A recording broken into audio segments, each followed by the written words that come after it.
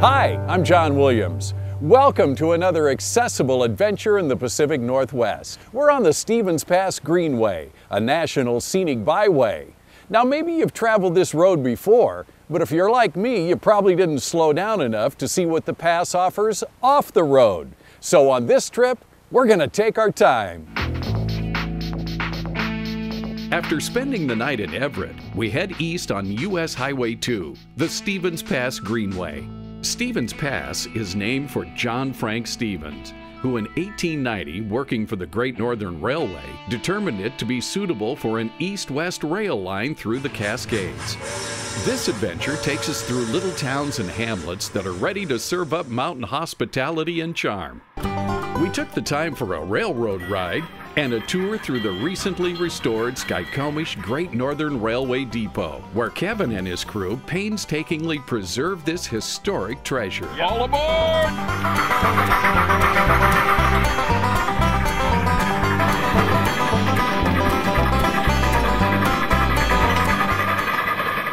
This is one of the most fun things I've ever driven.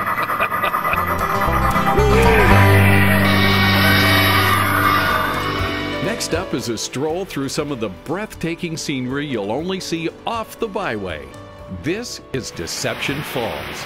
Some websites and guidebooks may tell you the trails are accessible, but true to the fall's name, they're not all accessible. I found plenty to see on the parts that are. Parts of the trail are paved and some hard packed dirt, and it's a little steep in places, but pretty easy going.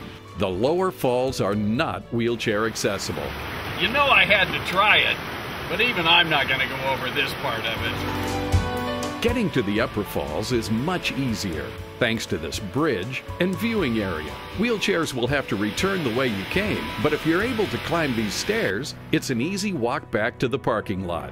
Well, after a quick bite of lunch, it's time to take a hike. We're taking a little trip through time here and traveling along the old Cascade Highway. Our next stop, a hike along the Iron Goat Trail. The trailhead starts out as boardwalk, then hard-packed gravel, and finally, near the end of the trail, it's paved. It's 2.8 miles to the Iron Goat Interpretive Site. Now, for the most part, it's an easy push in a wheelchair, with the exception of about, oh, 50 feet of trail or so that gets pretty narrow and grown over with vegetation. I kept asking out loud, how did these guys do this with the equipment available a hundred years ago? Finally, make a legal U-turn at Stevens Pass Ski Resort. Come back to milepost 64. Located on the Old Cascade Highway is the site of the former town of Wellington. Here at Wellington Trailhead, you'll find accessible facilities. The trail to the disaster site is hard-packed gravel. Boardwalks will get you over the wet areas, and when you reach the snow shed, old railroad ties and timbers will transport you back in time. Roll onto the observation deck at the disaster site. View the interpretive signs as you pause and learn the fate of the town and the people stranded in their train while stuck in the snow. For our more mobile hikers, the trail does continue for about two miles to the Iron Goat interpretive site.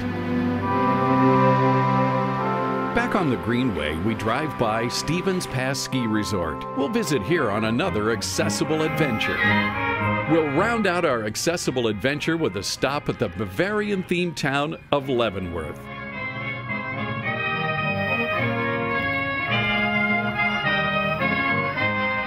How's that old saying go? When in Rome, uh, well, you know, there's restaurants, pubs, and plenty of shops. Hey, I hope you've enjoyed our trip along the Stevens Pass Greenway. There's so much to do and see along this route. Be sure to check the website for more details. After a fun time in Leavenworth, we're going to hit the road and find our next adventure. I'm John Williams. I'll see you again real soon.